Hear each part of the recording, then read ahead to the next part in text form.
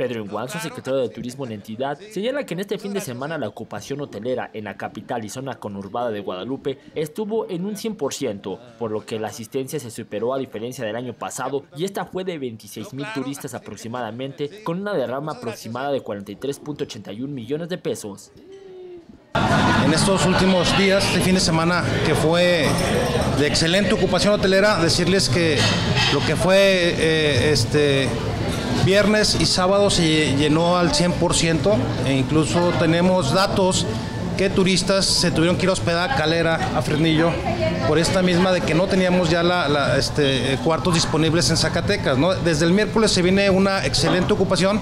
pero bueno, decirte que la verdad muy contentos, eh, los hoteleros también muy contentos por estos días de excelente ocupación que se han mantenido y de los datos que ellos nos pasaron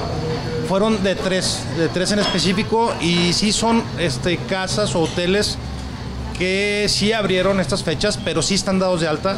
Eh, se les hizo la revisión, eh, los, los, visitaron de ahí de parte de la Secretaría de Turismo y sí son hoteles que están este, dentro de la ley. Pero bueno, sabemos que, que aunado esto con lo que viene haciendo el gobierno del Estado y los esfuerzos que hace la Secretaría de Turismo, incrementamos alrededor de, de 8.500 a 9.000 turistas más en una semana que este es un dato muy importante que hay que dar y yo creo que muchos de ustedes lo, lo atestiguaron y recorriendo, ¿no? principalmente este, nuestro centro histórico. Y también tiene que ver mucho que la semana que entra, o esta semana, perdón, que estamos iniciando de Pascua, eh, el, el, programa artístico de, del Festival Cultural lo venimos platicando con, con el Instituto Zacatecano de Cultura en dejar artistas claves para nuestro cierre, ¿no? Para que también la ocupación se mantenga y siga este, con esa excelente ocupación. Al día del periodo del 12 al 19 de, de abril